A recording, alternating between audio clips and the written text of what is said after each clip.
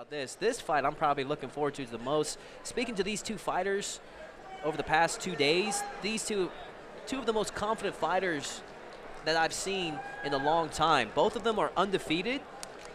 Morgan, the Yoga Flame, Oriahi, he's coming in with a amateur record of 5 and 0 and 1 and 0 as a pro. So he's won six straight. Aaron Reeves is 4 0 as a professional, 3 0 as an amateur. So he's coming in with seven straight. So somebody's O must go in this next fight. I think, uh, if, if, uh, if, if, I'm not mistaken, I think Reeves actually lost one. I saw him lose to uh, Kevin something out of, uh, I think it was in Lubbock for a that, show. That is possible. He has one draw as an amateur. He's 3 0 1 according to my records and whenever Huh. I spoke to him. But Well, it's, it's going to be a great fight nonetheless. Uh, Oriahi is, I've seen him fight many times, and he's a handful. And I've seen Reed fight, Reeves fight many times, and he's very technical. Trains under legendary Saul Solis Metro Fight Club. They got a lot of tough guys over there, and Saul definitely, knows what he's doing. Definitely. And here we see Morgan, the Yoga Flame Oriahi. Asked him where he got that nickname. He says he looks like a cross between Dhalsim and Sagat from Street Fighter say, 2. That's an interesting nickname. And he's proud of it. He likes it. He likes being referred to The the, Yoga. Flame. And watching some of his highlights, this you know, this is a young up and coming guy with a lot of potential. And so Yeah, this he's is very be- athletic. This is going to be an eliminator between two of the area's best fighters, young up and coming fighters. Yeah, and Oriahi's going to be the bigger fighter in this uh, matchup. Reeves is a, is a little short for 70. Um, I think Reeves is looking to go to 155 after this fight. That's that's the rumor. Uh, he's gonna he's gonna have his hands full. Reeves can win this fight. He can, but he's got to be smart. Oriahi trains out of the O Athletic. That's a gym that was recently opened up by Adrian Peterson. He started that place primarily so the Texans, and the Dynamo, have a place to train. And speaking with Oriahi, he says that's where the pro athletes come to train. So he works on a. When asked about his specific training, he quoted a lot of fighters as far as Conor McGregor and Anderson Silva. He likes to emulate, you know, how they got successful, and so he does a lot of movement into his training. Yeah. Doesn't matter where this fight goes. He feels comfortable both on the ground and in the striking. You're going to see some dynamic striking from him. He, he, he does some, some unorthodox stuff. Kind of reminds me of uh, Uriah Hall, the UFC. You know, he'll throw some uh, unorthodox stuff, but it works for him because he's he's athletic. He gets away with it. You know, uh, I see him throw some really nice flying knees and some spin kicks and things like that. Um, and I know he was training with uh, Victor Pozas, which is a, a Brazilian Jiu-Jitsu black belt under Dean Lister. Uh, Victor Pozas uh, uh, strictly does no gi. He doesn't do any gi at his gym. Uh, they call it the dark side. So um, now that he's over there, he's probably one of the head guys over at O Athletic running that gym for Adrian Peterson. But he's trained around the city. So he's got head coach James Johnson's in his corner. William Morris helped him with his wrestling to prepare for this fight. And now we get to see Aaron Reeves come down to the cage, fighting out of Metro Fight Club, ran by Saul Solis. Yeah, and those guys fight anybody. I mean, they're, they're a tough group of guys, and, and Saul puts them puts them through the ringer day in day out. It's old school training over there. It's hot. Uh, so you know, like I said, Reeves can win this fight. Uh, he's going to have to stifle the uh, the creativity um, that that Oriahi brings. Um, but if he, he can do that with fundamentals, he can win this fight. When asking Reeves about his aspirations in the mixed martial arts world, he has aspirations to make it to the UFC soon. He feels that he's one or two fights away. He's a former football player. Taekwondo is in his background. He started training mixed martial arts at age 22. He's now 27, so he's been pretty successful for the past five years with a 4-0 professional record. A win here tonight would definitely add to his cause in making it to the UFC. Yeah, you don't see many guys make it to the UFC with 4 0 and 5 0 records. I mean, he's really going to have to, to to fight some top level competition next if he wants to get in there. You know, an ex UFC vet or something like that. If he if he does uh, win this fight, uh, you know, he could get in there with 6 and 0, 7 and 0. But he's got to he's got to take the right fights. He's got to fight the right guys. Interesting to see how Reeves is going to handle the height differential.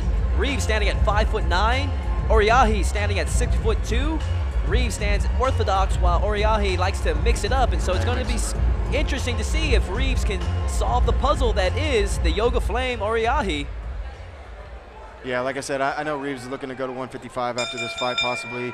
he's definitely going to be the shorter guy in the cage tonight. Yeah. Both of these guys look tough. They're both tough guys. It's, it's anybody's fight. Fighting out of the blue corner.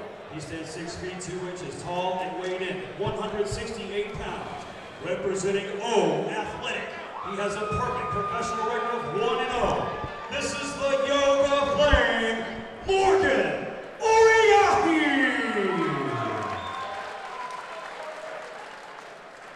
And introducing his opponent, fighting out of the red corner. He stands 5 feet 10 inches Oriahi tall is a little older. He's like 32, right? pounds. Oriahi's 31 years old. MMA. He has a professional how old is record of four 27? wins, only one defeat. This is Aaron so he does have one defeat. So I stand corrected. Reeves is standing at 4 and 1, not 4 and 0. Still an outstanding record. And we have referee Chris Reed begins the fight. We got an interesting fight on our hands between Reeve and Oriahi. You know, Oriahi likes to counterpunch.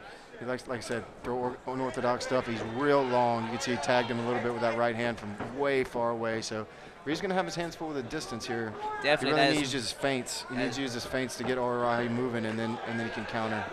I agree with you. Definitely, that's one of the first things you notice is that long reach advantage, that eagle wingspan of Oriahi. And because of that, he's able to control the cage in the center, and that you know that scores points too.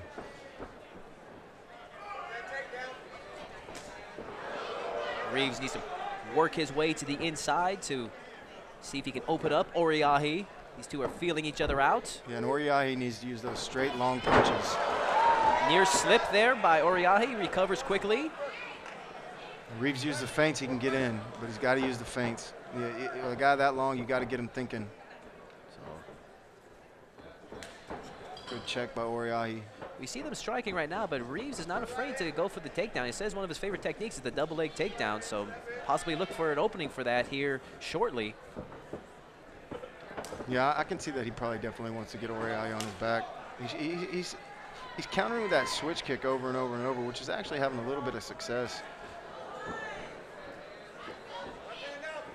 When you got a guy as long as arms as, as, as Oriahi, sometimes you got to use the legs first. Oriahi looking very composed, looking for his opening.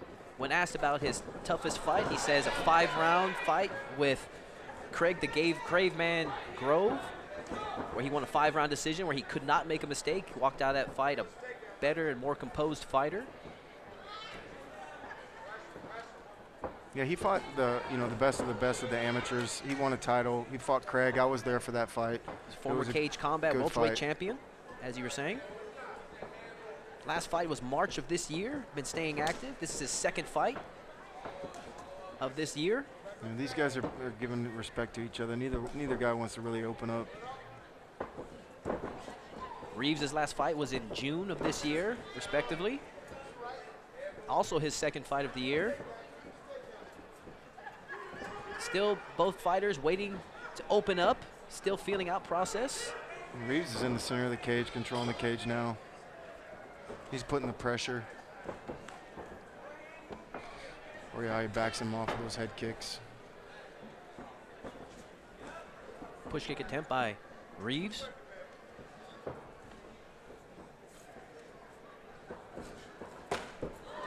Another switch kick from Reeves. It'd be nice to see him throw a right hand and walk right into that switch kick. Reeves, a former football player, so you know he's got a lot of athletic ability. Trains hard every day at a Metro Fight Club. Yeah, and you can hear Reeves' corner calling for more than one. I mean, you really got to put some punches together on a guy like Oriahi because he's so long. To overcome that reach is quite the task set for Mr. Aaron Reeves.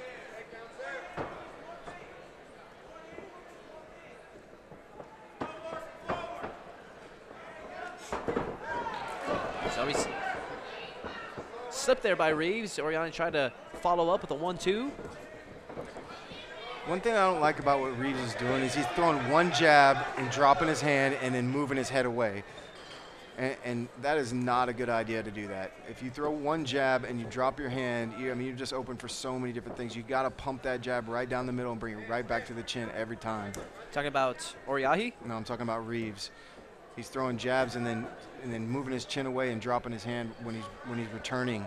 And when you're fighting a longer fighter, you cannot afford to have your hands low. That's right. Spinning back kick attempt from the Yoga Flame, Oriahi. Yeah, Reeves doesn't keep his hands up very much. That can get you in trouble late in rounds.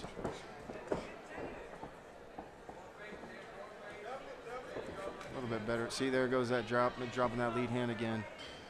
Seen very few, if at all, takedown attempts in this first round. And as I say that, we see Oriahi go for the takedown. he gets it. And he just scores. With it.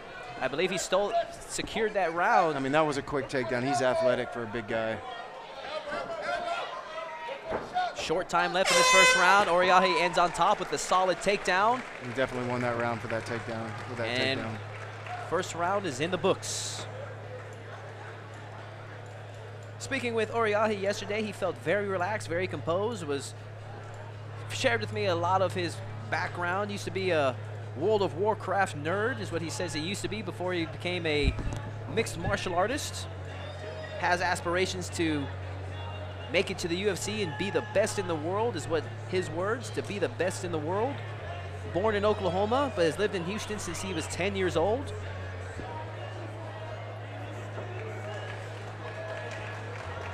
Reeves opting to stand in between rounds. What do you feel about that, Jace, when fighters decide to stand in between rounds? Do you think, think- that's a good idea? I think it's mental toughness, and, and I love it. I mean, I never did it, but uh, I wish I would have. Because, I mean, I am the opposite. I took every second I could to catch my breath. You know, hey, Yeah. brother, if you want to stand and show mental toughness, hey, uh, more power to you, my man. yep, that's, uh, everybody's different. Chris Reed about to start the second round. Second round is officially on their way. Touch up by the fighters. Fast feet there by the Yoga Flame, Oriahi. Oh, Oh, and he he's is rocked. He's hurt bad. Power of Reeves has Oriahi in trouble, looking for a stoppage, and referee Chris Reed comes in for the stoppage Wow, Reeves Chris coming through in the Reeves. clutch. with a TKO finish. Oriahi protesting. Feels that it wasn't a legit stoppage.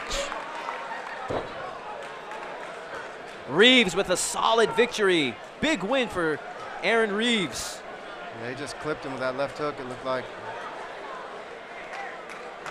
Good job for Aaron. Nice, nice win. This kid's tough.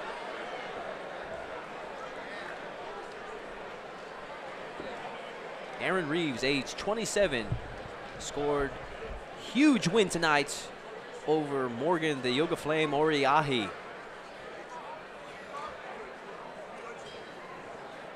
Glad to see that Oriahi is being a good sport about it.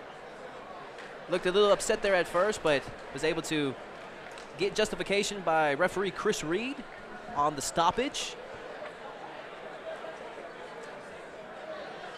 Aaron Reeves with a huge TKO victory tonight, improving his record to 5 and 1. Yeah, he looked good tonight. I'd like to see him clean up his, his striking a little bit. Uh, but man, he's got some power for sure. Ladies and gentlemen, the end comes 13 seconds into round number two for your winner. By TKO,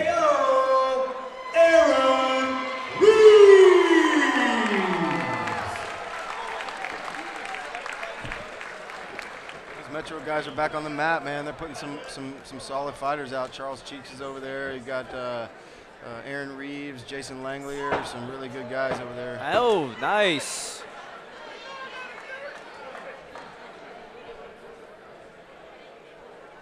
Hamming it up there by Aaron Reeves.